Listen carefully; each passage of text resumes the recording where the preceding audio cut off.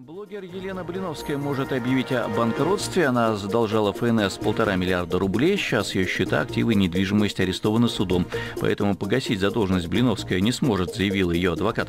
Почему налоговая не может снять деньги со счетов арестованных правоохранителями и что делать в таком случае? Она задолжала Федеральной налоговой службе около полутора миллиардов рублей. Сейчас ее счета, активы и недвижимость арестованы судом. Погасить задолженность Блиновская не сможет, заявила РИА Новости ее адвокат Наталья Сальникова.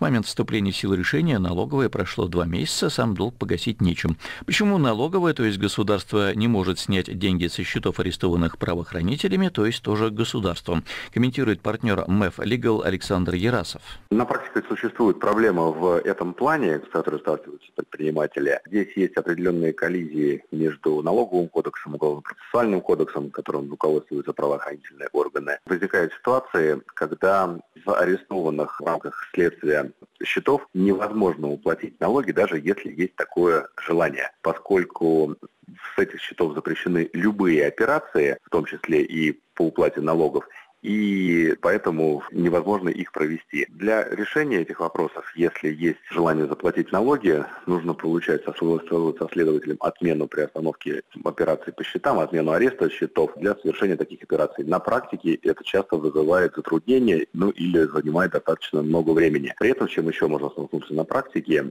когда даже сами налоговые органы не могут взыскать задолженность по налогам в принудительном порядке в случае, если счета арестованы правоохранительными органами банки не проводят эти инкассовые поручения, потому что на счета уже наложен арест правоохранительными органами. Александр Герасов, партнер МФ Legal. Фигурантом уголовного дела также является муж блогера Алексей Блиновский. Накануне стало известно, что Сбербанк намерен обратиться в суд с требованием признать Блиновского банкротом из-за просроченной задолженности.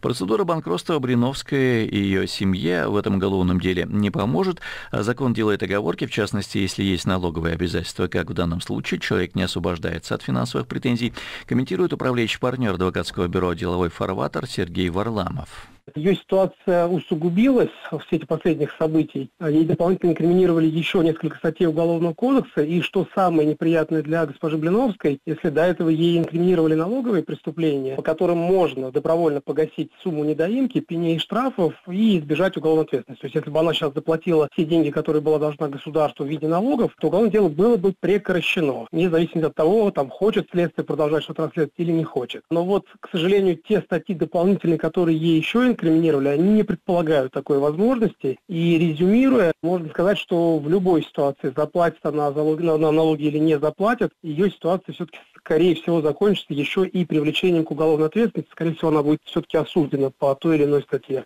Сергей Варламов, управляющий партнер адвокатского бюро «Деловой фарватер». В начале недели суд изменил Блиновской меру пресечения с домашнего ареста на заключение под стражу за неоднократное нарушение действующей меры пресечения и также предъявлены два новых эпизода обвинения по статье «Неправомерный оборот средств платежей».